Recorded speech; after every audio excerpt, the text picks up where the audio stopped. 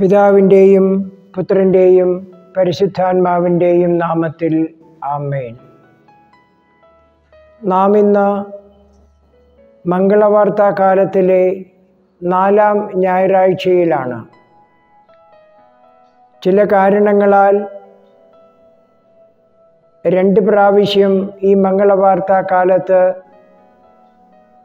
ഈ പ്രസംഗങ്ങൾ യൂട്യൂബിൽ കൂടി അപ്ലോഡ് ചെയ്യുവാൻ ഞങ്ങൾക്ക് കഴിയാതെ പോയി.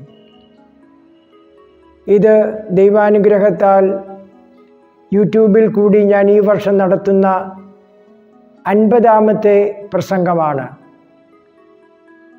വാസ്തവത്തിൽ അൻപതാമത്തെ പ്രസംഗം കഴിഞ്ഞ ഞായറാഴ്ചത്തെ പ്രസംഗമാകേണ്ടതായിരുന്നു. കൊറോണയുടെ ചില സാഹചര്യങ്ങൾ കൊണ്ട് അത് നടത്താൻ കഴിയാതെ പോയി. എല്ലാം ദൈവപരിപാലനയ്ക്ക് നാം പരിപൂർണമായി സമർപ്പിക്കേണ്ടിയിരിക്കുന്നു. ഈ അൻപതാമത്തെ പ്രസംഗം ചെയ്യാൻ എനിക്ക് അവസരം നൽകിയ നല്ല ദൈവത്തിന് നന്ദി പറഞ്ഞുകൊണ്ട് ഇന്നത്തെ പ്രസംഗ വിഷയത്തിലേക്ക് ഞാൻ പ്രവേശിക്കട്ടെ. എമ്മാനുവൽ എന്നതിനെക്കുറിച്ചാണ് എന്ന ആ വാക്കിനെക്കുറിച്ചാണ് നാം ഇന്ന് പരിചിന്തനം ചെയ്യുന്നത്. ഇന്നത്തെ സുവിശേഷം നാം വായിക്കുമ്പോൾ മലയാളമല്ലാത്തൊരു പദമായി ആ സുവിശേഷ ഭാഗത്ത് വരുന്ന ഒരു വാക്കാണ് എമ്മാനുവൽ.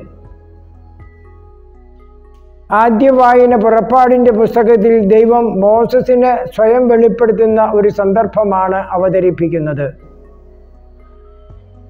വാസ്തവത്തിൽ വിശുദ്ധ ഗ്രന്ഥം മുഴുവനും നിരന്തരം പറയുന്ന ഒരു കാര്യം ഒരേ ഒരു കാര്യം മനുഷ്യരുടെ ഇടയിലുള്ള ദൈവത്തിന്റെ ഇടപെടലുകളെ കുറിച്ചാണ്.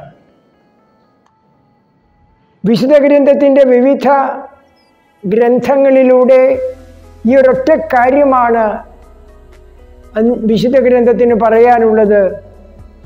മനുഷ്യരെ രക്ഷിക്കാൻ ചരിത്രത്തിൽ ദൈവം ഇടപെടുന്നു.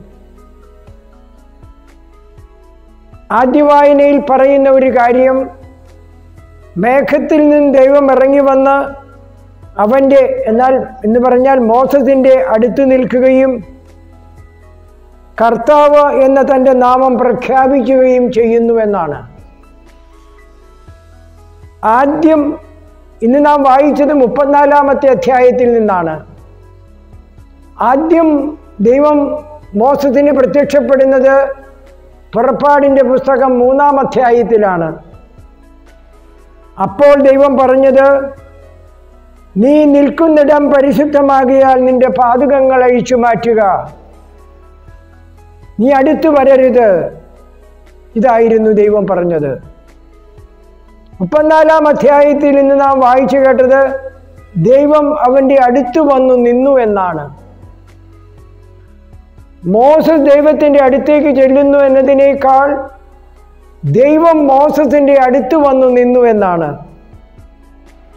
മനുഷ്യന്റെ ഇടയിലുള്ള ദൈവത്തിന്റെ വരവിന്റെ തടസ്സങ്ങൾ നീക്കിക്കഴിയുമ്പോൾ ഇതാ ദൈവം അടുത്തു വരുന്നു. ദൈവം സമീപസ്ഥനായിത്തീരുന്നു. അതാണ് എമ്മാനുവൽ എന്നുള്ള വാക്കിന്റെ അർത്ഥവും. ദൈവം നമ്മോടുകൂടെ. സ്ഥാപക സ്നാപക യോഹന്നാന്റെ വരവിനെ കുറിച്ച് ഏലിയ പ്രവാചക ഏഷയ്യ പ്രവാചകൻ പറഞ്ഞത് ഇങ്ങനെയാണ്. ഇതാ ഒരു സ്വരം ഉയരുന്നു. മരുഭൂമിയിൽ കർത്താവിന് വഴിയൊരുക്കുവിൻ. വിജനദേശത്ത് കർത്താവിന് വിശാല വീതി ഒരുക്കുവിൻ. താഴ്വരകൾ നിരത്തി കുന്നുകൾ താഴ്ത്തി ദുർഘട സ്ഥലങ്ങൾ നിരപ്പാക്കി കർത്താവിന്റെ മഹത്വം വെളിപ്പെടട്ടെ. യേശയ്യ നാൽപ്പത് മൂന്ന് അഞ്ച്. ഇത് യോഹന്നാനെ കുറിച്ചാണ് പറഞ്ഞിരുന്ന വിശുദ്ധ മത്തായി രേഖപ്പെടുത്തുന്നു. അത് തന്നെ വിശുദ്ധ യോഹന്നാനും പറയുന്നു. സ്നാപക യോഹന്നാനും അത് തന്നെയാണ് ഇത് ഈ വാചകം തന്നെ കുറിച്ചാണ് പറയുന്നത് എന്നാണ് സ്നാപകൻ പറയുന്നത്. ഇതിലെ കുന്നുകളും വിജനപ്രദേശങ്ങളും താഴ്വാരങ്ങളും എല്ലാം മനുഷ്യന്റെ ഹൃദയത്തെയാണ് സൂചിപ്പിക്കുന്നത്.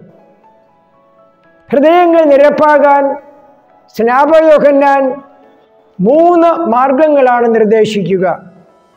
മനുഷ്യ ഹൃദയങ്ങളെ നിരപ്പാക്കാൻ മൂന്ന് മാർഗങ്ങൾ. ഒന്ന് പങ്കുവയ്ക്കുക. രണ്ടുടുപ്പുള്ളവൻ ഒരുടുപ്പ് മറ്റുള്ളവന് കൊടുക്കട്ടെ. രണ്ടാമത് ലൂക്കാസ് വിശേഷം മൂന്നാം അധ്യായം പതിനൊന്നാമത്തെ വാചകം. ഉത്തര മൂന്നാം രണ്ടാമത്തത് ഉത്തരവാദ നിർവഹണത്തിൽ നീതി പുലർത്തുക എന്നാണ്. നീ ഉത്തരവാദിത്വം നിർവഹിക്കുന്നവനാണെങ്കിൽ നീതി പുലർത്തുക. മൂന്നാം ലൂക്കാട് സുവിശേഷം മൂന്നാമത്തെ അധ്യായം പതിമൂന്നാമത്തെ വാചകമാണത്. മൂന്നാമത്തേത് അധികാരം സേവനത്തിന് ഉപയോഗിക്കുക എന്നാണ്. ലൂക്കാട് സുവിശേഷം മൂന്നാമധ്യായം പതിനാലാമത്തെ വാചകമാണ്. ചുരുക്കത്തിൽ കർത്താവിന്റെ അങ്കണത്തിൽ പ്രവേശിക്കാൻ ആരാണ് യോഗ്യതയുള്ളവനെന്ന ആ ചോദ്യത്തിന് സങ്കീർത്തകൻ നൽകുന്ന ഉത്തരം തന്നെയാണ് യോഹന്നാനും നൽകുന്നത്. കർത്താവെ നിന്റെ കൂടാരത്തിൽ ആര് വസിക്കും? നിന്റെ ഭവനത്തിൽ ആര് പ്രവേശിക്കും? അതെല്ലാം പാരസ്പരികമായ ബന്ധങ്ങൾ വ്യക്തമായി വ്യക്തമാക്കുന്നവയാണ് ആ ഭാഗങ്ങളെല്ലാം. പരസ്പരം ബന്ധപ്പെടുക. ആ ബന്ധം നീതിയിൽ നിഷ്ഠമായിരിക്കുക. അന്ത്യദിനത്തിൽ ഭക്തന്മാരായിരുന്ന ആളുകളെ ഓടിക്കുന്ന സുവിശേഷ ഭാഗം നമുക്കറിയാം. അവരെ അടിച്ചോടിക്കുകയാണ്. കർത്താവ് പറയുന്നത് നാം ഓർക്കുന്നുണ്ടാവും. മത്തായ സുവിശേഷം ഏഴ് ഇരുപത്തിമൂന്ന്. അനീതി പ്രവർത്തിക്കുന്നവരെ എന്നിൽ നിന്നും അകന്നു പോവുക. കർത്താവെ കർത്താവ് എന്ന് വിളിക്കുന്നവരല്ല. കർത്താവിന്റെ ദൈവത്തിന്റെ ഇഷ്ടം സ്വർഗപിതാവിന്റെ ഇഷ്ടം നിർവഹിക്കുന്നവനാണ് സ്വർഗരാജ്യത്തിൽ പ്രവേശിക്കുന്നത്. പരസ്പരമുള്ള ബന്ധങ്ങൾ വളർത്താൻ വലിയ പണച്ചെലവില്ല. അതിനധികം ബുദ്ധിമുട്ടില്ല. ഒന്ന് പുഞ്ചരിക്കാൻ ഒരു നല്ല വാക്ക് പറയാൻ ഒരു നിന്ദനം സന്തോഷ ശാന്തമായി സ്വീകരിക്കാൻ പറ്റുന്ന സഹായം അന്യർക്ക് നൽകാൻ തെറ്റുകാരോട് ക്ഷമിക്കാൻ നല്ല മനസ്സ് മതി. അതിന് നാം തീരുമാനമെടുത്താൽ മതി. നല്ല മനസ്സിന്റെ ഉടമയാകാൻ ആർക്കും സാധ്യമാണ്. എല്ലാവർക്കും പറ്റുന്നൊരു കാര്യമാണ്. നന്മ ചെയ്യാൻ നാം ദുർഘടമായ യാത്രകൾ ചെയ്യണ്ട. വീട്ടിൽ തുടങ്ങാം തൊട്ടടുത്തവരോട് ഇടപഴകാം. നാം പലപ്പോഴും ചിന്തിക്കുന്നത് അവരൊക്കെ നന്നായിട്ട് ഞാൻ നന്നാകാമെന്നാണ്. ഞാൻ നല്ല ആളാണ്. വീട്ടിൽ ഏറ്റവും ഫസ്റ്റ് ആയ ആൾ ഞാൻ തന്നെയാണ്. മറ്റ് എല്ലാവരും അങ്ങനെ പറയുകയാണ്. അപ്പോൾ എല്ലാവരും വീട്ടിൽ നമ്മുടെ സ്വന്തം കുടുംബാംഗങ്ങളുടെ മുമ്പിൽ നമ്മുടെ ഈഗോയുടെ ക്ലാഷാണ് അവിടെ നടക്കുന്നത്. നമ്മുടെ അഹന്തയുടെ ക്ലാഷാണ് നടക്കുന്നത്. ഈശോ പറയുന്നത് അവരെ അവരുടെ കുറവുകളോടുകൂടി സ്വീകരിക്കുക. മക്കൾ മാതാപിതാക്കന്മാരെയും മാതാപിതാക്കന്മാർ മക്കളെയും അമ്മായിയമ്മമാർ മരുമക്കളെയും മരുമക്കൾ അമ്മായിയമ്മമാരെയും അവരുടെ കുറവുകളോടുകൂടി അവരുടെ നല്ല ഗുണങ്ങൾ നമുക്ക് പ്രശ്നമല്ല. അവരുടെ കുറവുകളാണ് നമ്മുടെ പ്രശ്നം. ആ കുറവുകളെ കൂടി നിങ്ങൾ ഉൾക്കൊള്ളുക. ആ കുറവുകൾ നിങ്ങൾ പരിഹരിക്കുക. ഞാൻ എന്നെ തന്നെ അങ്ങ് അഡ്ജസ്റ്റ് ചെയ്യുക ചെത്തിച്ചേർക്കുക എന്നാൽ അഡ്ജസ്റ്റ് ചെയ്യുക എന്ന് പറഞ്ഞാൽ അവരോട് ചെത്തിച്ചേർക്കുക. രോഗമുള്ളവരോടും പ്രായമായവരോടും നാം ഭൂമിയുടെ ക്ഷമ തന്നെ കാണിക്കണം. മുമ്പ് നന്മയായി നമ്മെ ചെറുപ്രായത്തിൽ നമ്മയൊക്കെ വളർത്താൻ ഇടയായ ആ നന്മകൾ നമ്മൾ പ്രായമായി അവർ അതിലും പ്രായമായി കഴിയുമ്പോൾ അതൊക്കെ നമുക്കൊരു ശല്യമായി തീർന്നെന്ന് വരാം. ചെറിയൊരു ഉദാഹരണം പറയാം. മാതാപിതാക്കന്മാരുടെ കരുതൽ സ്വഭാവം. ഈ കരുതൽ സ്വഭാവം നമ്മൾ കുഞ്ഞുങ്ങളായിരുന്നപ്പോൾ വളരെ ആവശ്യമായിരുന്നു. എങ്ങോട്ടാ നീ പോകുന്നേ? എന്താ നീ ചെയ്യുന്നേ? ഇതൊക്കെ അവർ അതിലൊക്കെ അവർ ഇടപെട്ടിരുന്നു. പക്ഷെ അവർ നാം വളർന്നു കഴിയുമ്പോൾ ഇതിലൊക്കെ ഇടപെട്ട് കഴിയുമ്പോൾ നമ്മൾ പറയും അച്ഛാ അതിനൊന്നും മിണ്ടാതിരിക്കാൻ പാടില്ലേ? ഞാൻ എന്റെ കാര്യം നോക്കിക്കൊള്ളാം. എന്നുള്ള ഒരു മനോഭാവത്തിലേക്ക്. അപ്പോൾ ആ കരുതൽ സ്വഭാവം തന്നെയാണ് അവർ കാണിക്കുന്നത്. അവർക്ക് നമ്മിലുള്ള താല്പര്യമാണ് കാണിക്കുന്നത്. പക്ഷെ അത് നമുക്കൊരു ശല്യമായി തീരുന്നു അവരുടെ ആ സംസാര രീതി നമ്മളെ ഇറിറ്റേറ്റ് ചെയ്യുന്നു. ഒരു ചൊറിച്ചിൽ പോലെ നമുക്ക് അനുഭവപ്പെടുന്നു. പരസ്പരം ഭാരം വഹിക്കുക എന്ന് സെന്റ് പോൾ പറയുന്നത് ഇവിടെയാണ് നാം മനസ്സിലാക്കേണ്ടത്.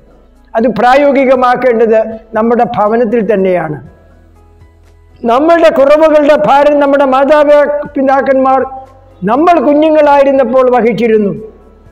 ഒന്ന് മിടുക്കരായ നാം അവരുടെ കുറവുകളും അവരുടെ കൊച്ചു കൊച്ചു ഭാരങ്ങളും നാം വഹിക്കണം. കായിക രംഗത്ത് വിചാരിച്ചത്ര ഉയരാൻ കഴിയാതിരുന്ന ഒരമ്മ എങ്ങനെ തന്റെ മകനെ വളർത്തി വലുതാക്കി എന്ന കഴിഞ്ഞ ആഴ്ചത്തെ കഴിഞ്ഞ ഞായറാഴ്ചത്തെ പന്ത്രണ്ടാം തീയതിയിലെ ഞായറാഴ്ചത്തെ ദീപിക വാരാന്ത പതിപ്പിൽ നമ്മൾ വായിച്ചിട്ടുണ്ട്. ചിലരെങ്കിലും വായിച്ചിരിക്കും. അപൂർണന്മാരുടെ സംഘമാണ് മനുഷ്യകുലം. അപൂർണരായിട്ടാണ് ദൈവം നമ്മളെ സൃഷ്ടിച്ചിരിക്കുന്നത്. മറ്റുള്ളവന്റെ പൂർണത കൊണ്ട് നമ്മൾ മിടുക്കരാകാൻ വേണ്ടിയിട്ട്. അപ്പോഴാണ് നാം പരസ്പരം ബന്ധപ്പെടുന്നത്. ജെറൂസലേം ദേവാലയ സ്ഥാനത്തെക്കുറിച്ച് വിശ്വഗ്രന്ഥത്തിൽ പരാമർശമുണ്ട്. എങ്ങനെയാണ് ദൈവം ആ സ്ഥലം എടുത്തത്? അതിനെക്കുറിച്ച് യഹൂദന്മാർക്ക് ഒരു കഥയുമുണ്ട്. എന്താണ് ആ കഥ. പക്ഷെ പ്ലാമ്പാനിയുടെ ഒരു പുസ്തകത്തിൽ നിന്നാണ് ഞാനത് വായിച്ചത്. രണ്ട് യഹൂദ സഹോദരങ്ങൾ. അവർ കുട്ടികളായി അവർ വളർന്നു വലുതായി ഒരുത്തൻ വിവാഹിതനും മറ്റൊരുവൻ അവിവാഹിതനുമായി കഴിഞ്ഞു. രണ്ടുപേരും കഠിനമായി അധ്വാനിക്കുന്നവർ വിവാഹിതന്റെ കഠിനാധ്വാനത്തിന്റെ ഫലമായി ഒത്തിരി ഫലങ്ങൾ അവനുണ്ടായി. അയാൾ വിചാരിച്ചു "ദാ എന്റെ അനുജൻ അവിടെ ഉണ്ടല്ലോ. അവൻ എന്തു ചെയ്യും? അവന് ഭാര്യയില്ല മക്കളില്ല. അവനിങ്ങനെ ഇത് വേണ്ട ഇത്രയധികം ഉണ്ടാക്കാൻ പറ്റില്ല. എനിക്ക് മക്കളുണ്ട് ഭാര്യയുണ്ട്. അതുകൊണ്ട് എനിക്ക് ഇത്രയുമൊക്കെ ഉണ്ടാക്കാൻ പറ്റി. കുറേ അവന് കൊടുക്കാമെന്ന് പറഞ്ഞ് അയാൾ കുറേ സാധനങ്ങൾ വണ്ടിയിൽ കയറ്റി അനിയന്റെ അടുത്തേക്ക് യാത്ര ചെയ്യാകുകയാണ് ഇത് എപ്പോൾ മറ്റേ അനിയൻ എന്താ ചെയ്യുന്നത് അനിയൻ വിചാരിച്ചു ആ എന്റെ അധ്വാനം ഇഷ്ടം പോലെ സാധനങ്ങൾ എനിക്ക് കിട്ടിയല്ലോ. എന്റെ ജ്യേഷ്ഠനാണെങ്കിൽ വലിയൊരു കുടുംബത്തെ പോറ്റാനുണ്ട്. എനിക്ക് അതൊന്നുമില്ല ഞാൻ തന്നെയല്ലേ ഉള്ളൂ. എനിക്ക് കുറച്ച് ജ്യേഷ്ഠന് കൊടുക്കാം. അയാളും കുറേ സാധനങ്ങൾ കയറ്റി വണ്ടിയിൽ കയറ്റി. ഇവർ രണ്ടുപേരും പരസ്പരം ഒരു സ്ഥലത്ത് കണ്ടുമുട്ടുകയാണ്. ഈ കണ്ടുമുട്ടുന്ന സ്ഥലം പരസ്നേഹത്തിന്റെ സംഗമവേദിയായി തീരുന്നു. ദൈവം ആ സ്ഥാനം ദൈവത്തിന്റെ സന്നിധാനമായി തിരഞ്ഞെടുക്കുന്നു. നമ്മുടെ ഓരോരുത്തരുടെയും ജീവിതത്തിൽ ക്രിസ്തുവിന് നാം വരുന്നത് നമ്മുടെ സംഗമവേദിയിലാണ്. നമുക്ക് അഭിപ്രായ വ്യത്യാസങ്ങളുണ്ട്. ചിന്താഗതികൾ വ്യത്യാസമുണ്ട്. ഈ ഭിന്നതകൾക്ക് അതീതമായി നാം മനുഷ്യരാണെന്നും ദൈവത്തിന്റെ മക്കളാണെന്നുമുള്ള ബോധ്യമുണ്ടാകുമ്പോൾ അവിടെ ദൈവം സന്നിഹിതനാകുന്നു. നമ്മുടെ കുന്നുകൾ നിരച്ചപ്പെടുകയും താഴ്വാരങ്ങൾ നികത്തപ്പെടുകയും ദുർഘടസ്ഥാനങ്ങൾ സമതലങ്ങളായി തീരുകയും അങ്ങനെ ദൈവം പിറക്കുകയും ചെയ്യുന്നു. ആ പിറവി ഈശോയുടെ ഈശോയുടെ പിറവിയാകുന്നു. എമ്മാനുവേൽ ദൈവം നമ്മോടുകൂടി ആയിരിക്കുന്നത് അപ്പോഴാണ്. ആമേൻ.